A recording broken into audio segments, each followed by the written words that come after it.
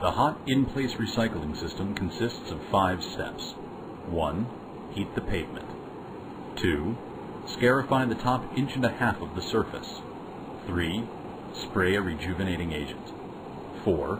Relevel the mix with a screed. 5. Recompact the material. The first propane burner unit is the preheating unit. The burners are not aimed at the pavement. The heat is reflected down on the surface from radiant heat panels. The second propane tank unit heats the pavement to a point so that it can be scratched, or scarified, by the two rows of spring-loaded scarifying teeth.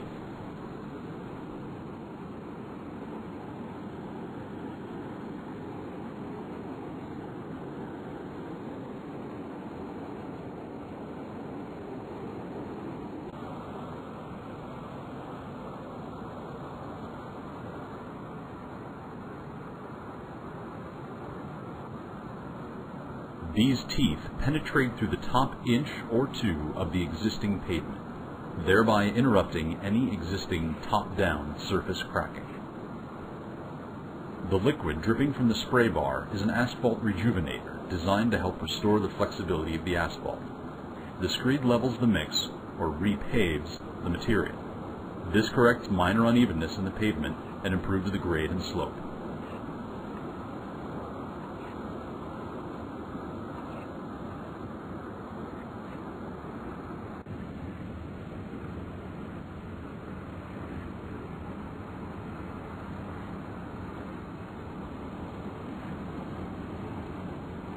A worker rakes the edge of the pavement seam, and a rubber-tired roller makes the initial compaction.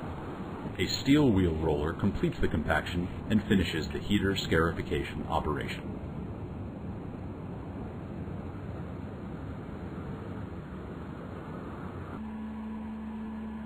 Microsurfacing.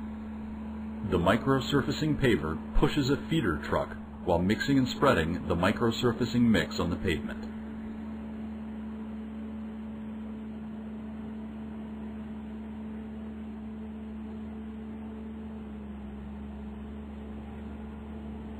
The mix begins to set and cure while workers place traffic cones out to protect the fresh mat. Traffic flows in the lanes not being worked on.